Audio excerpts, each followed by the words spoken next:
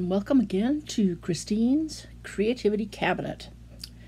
Well, um, I've been hitting all along in my last several videos about something called artificial intelligence. Well, this is this is the video where I, am going to tell you all about what I found out about artificial intelligence. Um, you know, it's kind of been a big thing. It's been all over the internet, um, and um, but one of the areas that I haven't really seen it in is in the crafting area. Um, and uh, I kind of found out about some of the artistic um, possibilities of, of, of this through my sister, who's an incredible tech head. So she's all over artificial intelligence, and she posted on Facebook that she went to an artificial intelligence server on the internet and she um, was able to make these pictures of 50s housewives, only they're 50s housewives with iPhones and they look totally convincing photographic images of these 50s housewives and they're they're holding an iphone like this and they're like da, da, da, da, but they're 50s housewives. Like photographic 50s housewives. And so i saw that and i thought wow that's really interesting. So um, i eventually found a particular um, ai thing on the internet. It's called imagine.art and what imagine.art does is that you, you put in um, just some words, like a phrase of what, what you want it to create and then it creates something. I think how it does it is it searches on the internet for different kinds of images that fit those terms, and then it just uses its artificial brain to combine them all together to make something. So I started doing that. I'd been in a, a, a point where I was really kind of kind of looking at the what I, where I wanted the direction of my channel to go. So I was looking at all my old videos. I like went back through and watched all my old videos and kept track of my favorite projects. And so what I started doing is I started going into this imagine.art AI thing and just um, typing in the names of those projects and seeing what the artificial intelligence came up with. That's a concept right there. So um, some things were kind of interesting, some were pretty awesome, some were really, really, really super weird and strange. Um, and then you know I, I kept playing around with it more. I saved the images that I liked, and then I also started to enhance it by um, adding to the name of the image um, one or more of the materials that I used to make it. So, um, and then I got ended up with a bunch of different different stuff, and then I, I thought to myself, you know what? I want to try to make some of these things. You know what we're gonna do? We're gonna take things to another level. Um, it's you know similar to doing a dupe, where you go onto a site like Mackenzie Childs or Kirkwood or um, any of those things, and you um, you see a, a, thing that you like and you think you want to try to dupe it. That's kind of where I'm going going at with this. I'm I'm going to be taking these some of the images that I found because you know some of them are not reproducible, but um, and I'm not going to do all of them. But I, I picked out some ones that I, I thought were really interesting and I'm going to try to make not necessarily 100% exact dupes, but to use them as inspiration pieces to create a new version of an old project that I did. I want to try it. Is that okay? Am I allowed? Can I Can I try too? Is that okay? So, now that I've said already way too many words in this intro, let me keep talking. Um, in this video, um, I'm going to do several different projects. Um, the first one that I'm going to do is eh, this is actually one of my favorite projects that I did a couple of summers ago. It was the um, Americana mini trailers, which I made out of popsicle sticks and aluminum foil pans, and I thought they turned out pretty cool. I don't know that that video didn't really get a whole lot of views, but I think it was cool. So it, you know, it's my channel; I get to do what I want. Um, so um, um, I put a number of different versions of Americana mini trailers plus different supplies into the Imagine.ai. And what I would usually get would be something like this, which is actually not a mini trailer. It, it's a full size trailer that's just small. you know, that that's not what I was looking for. I was looking for some sort of. But finally, when I put all the materials together, let me let me just um, read to you. I wrote them down on here. Um, all the different ones that I added to just Americana mini trailers. So I added, I put in Americana mini trailers, aluminum foil pans, buttons, burlap ribbon, popsicle sticks, fine point paint markers, and foam stickers. I put all of that in there, and this is what, what I, I, I turned up with. And now that looks actually like a miniature trailer, something that I could dupe. And by an incredible coincidence, I was in Dollar Tree the other day, and what do I find in the Dollar Tree Plus section? I find this. Isn't that an adorable little mini trailer? So this is what I'm going to start with, but I'm going to try to do uh, a kind of kind of a sort of a dupe, um, but with my own spin of the one that I, I made from Imagine.art. So let's get to making. This should be interesting.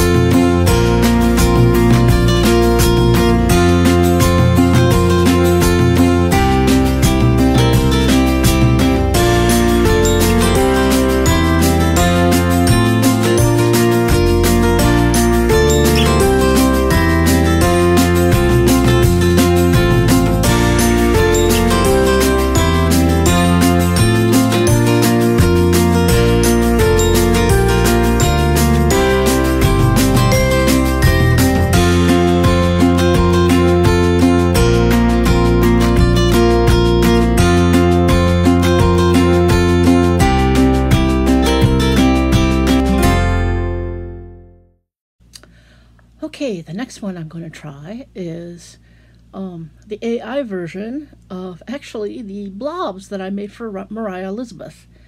Um, in case you don't remember or haven't seen that video, here they are. They're in a cute little basket, and I actually sent them to Mariah Elizabeth as a gift. Um, but when I put blob plushies um, and rope basket into um, imagine.art, this is what I got. Now, isn't that just freaking adorable? So I'm going to try to make something like that. And that, that first is going to involve me actually making my own rope basket. So I'm going to get started right now. And here I go. Wee.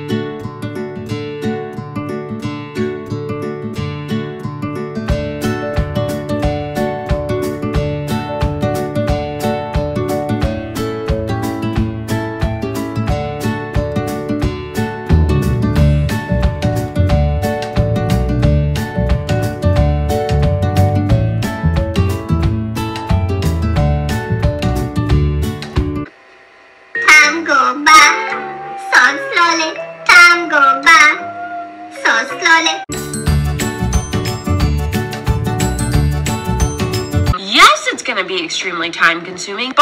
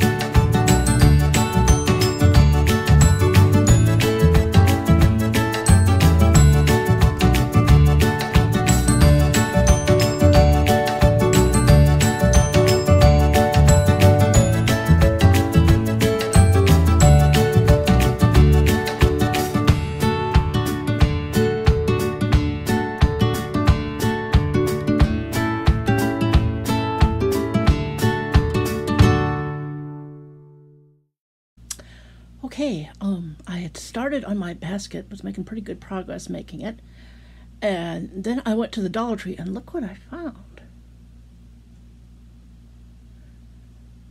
Now my brains are thinking. Hmm, thinking. You know, if I found that originally, I could have just maybe colored that and made that into the basket. Um, but I already started my rope basket, and it's it's coming along well. So I think I'm just going to make a second basket out of this. Okay, we'll see how that goes.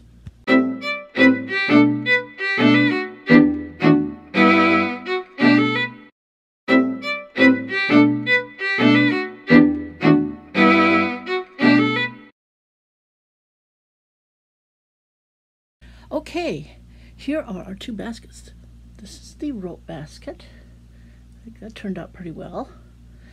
Yeah, there's a lot of glue um, that hangs out, but I almost kind of like that. I think it makes it look a little bit more kind of rustic. And then here's our second basket, which turned out just fine. And so now it's time to make some blobs.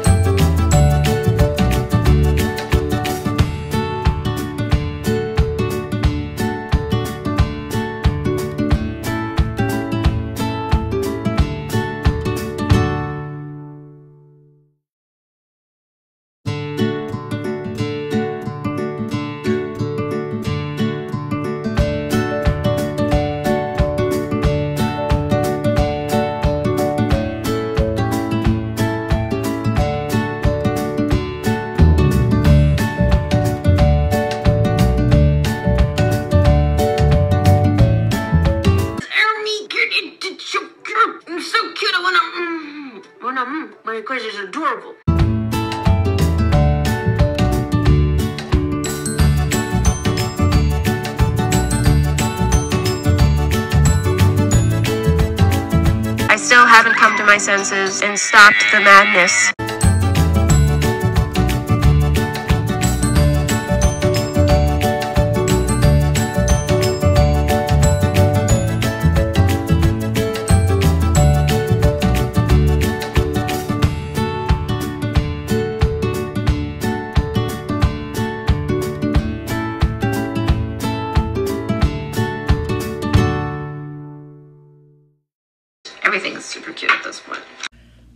My next AI enhanced project, um, it was based upon this uh, bird collage that I had made for my um, kind of gothic Halloween uh, DIY video. Um, so when I entered into um, um, Imagine.art, the, the terms bird collage, bandana, canvas board, fine point paint markers, and wooden stickers, this is what I got. So isn't that interesting? It's very far away from the original, but it, it looks like something I would I would like to kind of sort of reproduce. I'm gonna put my own spin on it because I was looking through my stash and I found these wonderful round napkins. This this is a uh, watermelon one. Oops, that's the wrong way. This is like a watermelon one, but I've, I've also got ones in some other fruit images and a floral one. And I'm going to combine these along with the bird, which I printed, and we'll see what we come up with. Now, stay with me on this journey I'm about to take you on.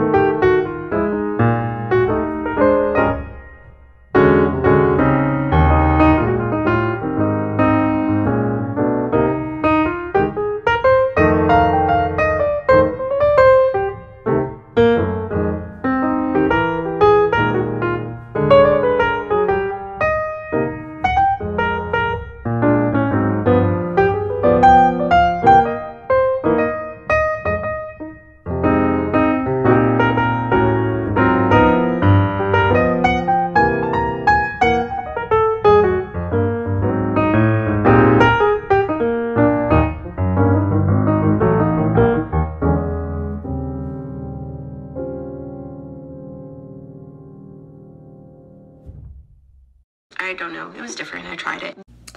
Okay, the last project is going to be a super quick and easy one. Um, it was when I, the original image was one of the squares that I put in the sliding square frame, in the sliding square frame video, and that was the one with the butterflies on it. Well, when I put in imagine.art sliding square frame butterfly 3D stickers, this is what I got. And I immediately saw that and thought, oh my god, I can totally dupe that. So let's get to duping.